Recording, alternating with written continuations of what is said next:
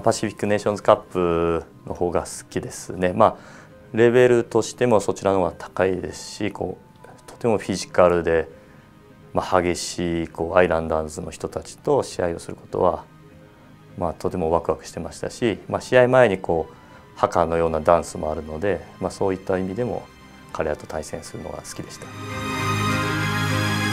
まあ、僕としては2つとも選びたいなとあの思います。最終的にはこうみんなを巻き込んで一つのものを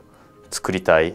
みんなでなんか大きな目標とか目的とかビジョンを持って何かを成し遂げたいと思いますけども、まあ、そのことを成し遂げるために自分自身がリーダーとして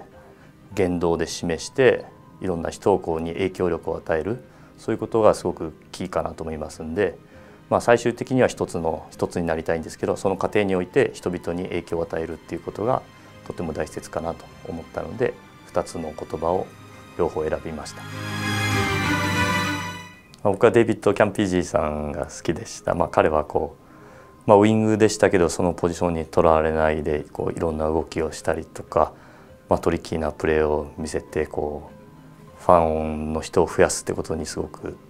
貢献されたのかなと思うので、まあ、デイビッド・キャンピージーさんを選びたいなと思います。僕は大福の方が好きです。あの大福はまあ、先ほどの質問じゃないですけどもこう季節を感じさせるようなこう色合いだとかを外側のこうにこう工夫を凝らすのでこの色を見たら春だとかこの色を見たら夏だとか感じられるので